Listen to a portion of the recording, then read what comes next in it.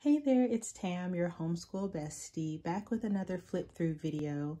This one is going to be featuring the high school edition of the Everything You Need to Ace the Subject in One Big Fat Notebook series. Um, these books are published by Workman Publishing, which is the same company that puts out the Brain Quest workbooks and the Brain Quest decks that you've seen in some of my other videos that uh, where I'm showing you our homeschool curriculum. But these are not just a homeschool resource. These are great for any student in high school, and you'll see why in just a moment. Um, if you like videos like this, go ahead and leave me a like to just let me know that you like videos like this. And also, if you want to see more, go ahead and hit that follow button. So without further ado, let's just go ahead and get started. I'm going to move these out of the way and we'll flip through each one. I'll try to leave timestamps for when each one gets started. So getting started with the pre-algebra and algebra 1 edition of this book. It has a similar format to the middle school edition. So if you haven't seen my flip through of those, you can definitely check that out as well.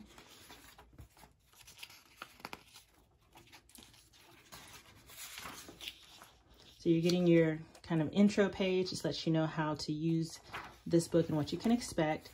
Then it gets into the contents where it's broken down by units.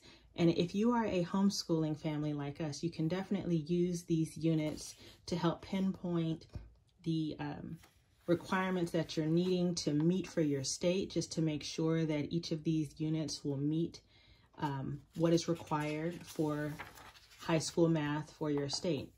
If I were only going to get one or two of these books, most definitely this pre-algebra and algebra one book would be one of them. And so what I'm going to do is just briefly flip through so that you can get an idea of what to expect in the chapters. Lots of colorful images. The keywords are always, uh, your key terms are always highlighted. So that's very, very, very helpful. And then you get a knowledge check after each chapter, which you can use as, you know, just your own type of quiz just to test your knowledge of that chapter, just to make sure that um, your student is actually understanding what's going on. I have recommended these highly. I have gifted these. I really cannot say enough uh, good things about this series. And I, I am so looking forward to keeping these as part of our resources going forward. So I'm just going to flip ahead a little bit more so that you can just get a, you know, a bit more, oops, a bit more of a inside view than you might see um, if you are getting these from Amazon, which I do have linked in the description. Um, if you want to go ahead and order these and just have them as part of your your resources. So flipping through a bit more just to give you the idea again, it's broken down by chapters. You can, you know, bit of fun in the notes just so that it's not so dry and boring as, you know, flipping through a traditional textbook. And then these are great to just continue to reference back when you need that help. And then always at the end, get there, because these are brand new, so it's a little bit stiff to open uh, when you first get them. You have the index where you can look up the math help that you need by the concept, which is extremely helpful when, you know, if you're teaching uh, math and you're not quite sure, you know, where to find um, an explanation, but you know, you know, generally the subject that you're looking at, the index is where you can have your student look for the information, gives them a chance to have that practice. Because, you know, everything we can just shout at Alexa now or, you know, some other resource. Um, so that's the pre-algebra and algebra one. This is the geometry book. So you're gonna see the very similar format throughout. Again, with the introductory pages here. Go ahead and give you a quick view of the content so that you know what's in here. I was very happy to see that trigonometry was also included just for the, because uh, I've been looking up some high school curriculum for my seventh grader and just, you know, in order to get prepared. So it was good to see that trigonometry was also included in this geometry book.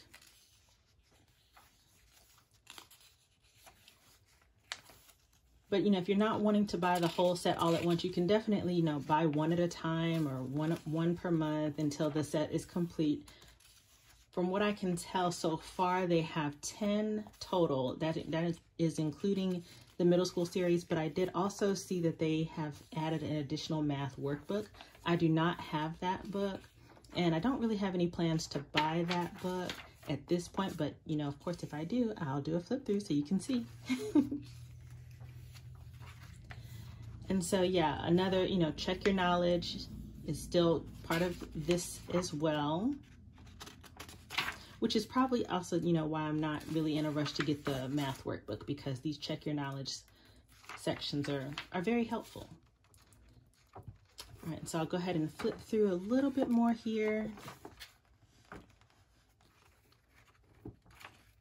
Getting a little bit further ahead, this is a chapter on, you know, how to Use the compass to construct perpendicular lines, parallel lines, angles. All right. Flip further. These resources I, I really, again, can't speak highly enough of. My oldest has gravitated towards all of them. I've seen her just, even on the weekends when we're not even doing school or during our breaks, she'll just come in and pick one, read through a subject, test her knowledge, and then move on. So if I were only recommending one series of books, it was definitely this one. And then again, at the end, you have your index for all of your terms for geometry.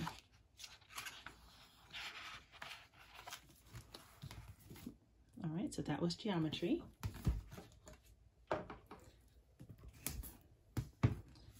For biology. This one, I was actually surprised at how much was in here because I kind of thought it was just going to be, you know, a little bit of life science in terms of, you know, basics of cells, but uh, it actually also includes a little bit of chemistry. They definitely also include plants. So if you have um, plant biology, that's in here as well animals, human, uh, the human body, as well as genetics are also included and a bit on ecosystems. So this is this is packed with a lot of good stuff. And what I, I think I most appreciate about this is the language is not too heavy. You know, this isn't going to really go over the head of your average high school student or even middle school student. Because like I said, we're not quite at the high school level. I'm buying this ahead of time to introduce the concept so that it's it's very casual. Um, I put these things out and I just let their natural curiosity take over. With a lot of the things, especially for science, you know, they'll hear something on TV or in a show or just in a documentary and they'll want to know or ask questions about it. And I just try to make sure that we have books and resources here that aren't necessarily tied to the internet that they can look through and find the answers that they're seeking. And so right now, again, just giving you that overview of the chapter. And of course, it also, for these books as well, includes the Check Your Knowledge that they can utilize or you can utilize in the form of a quiz. If you wanted to include quizzes in your homeschooling, you can definitely do that if you choose to. Here we have the periodic table, so that's again alluding to a bit of chemistry here in this book. It doesn't go too in-depth because um, they have created a book entirely dedicated to chemistry, which we'll get to in just a moment. But, you know, you see a bit of it here. Right, so let's flip ahead a little bit more, this so you can get more of, of a view of what's in here and the level of detail that they go into. Because I'll be honest, I do not remember all of this from school. and it's impossible to remember everything. But again, being able to have these resources on the shelf that my kids can reach for whenever they need to. That's that's what's helpful for me. oh my goodness, because I'm looking at some of these terms, I'm like, I don't even know how to say that, but that's okay. We have the book here that will help us. All right, and then finally, same as the math books, we have the index in the back to help out with those terms. And it is a good size index. You know, it's got some, a lot of detail in terms of, you know, the, the words that you can look up. So that was the biology book. And finally, the chemistry book. So I mentioned that the biology book had a little bit of chemistry in there. There was a unit on chemistry, but obviously this one goes into a lot more detail than the biology book. And so, of course, I recommend having all of them, but you don't have to, or you can just go for the uh, buying the book for the subject that your student might need the most help with. It's completely up to you. Um, but I've definitely gifted the math book more than once, the middle school math book more than once to students. And I've heard from those parents you know, the student is doing so much better. This was so helpful.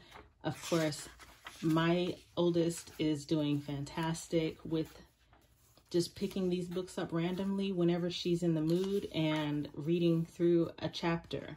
Because as you can see, the chapters are not very, very long, but they are long enough to make sure that all the information that you need to know is in there and it's memorable. And then, like I said, at the end of each one, you get to do a knowledge check that helps to reinforce what you just read in the previous chapter because these knowledge checks are at the end of each chapter, not the end of each unit. Because each unit includes multiple chapters. So the the uh, the knowledge checks are at the end of every chapter. So very, very helpful. I'm going to flip a little bit further to get more of a view of what else you can expect. Here's a periodic table again. Uh, we saw it in the biology book, but there's another one here. And I think actually there's multiple periodic tables throughout this book, but we're flipping ahead. And then, you know, very, very simple, but detailed.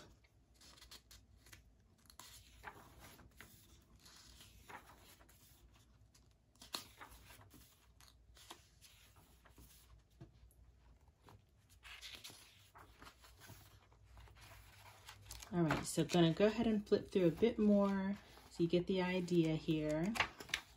And as always, the index in the back covers quite a bit to make it easier to search those terms to go right to what it is that you're looking for.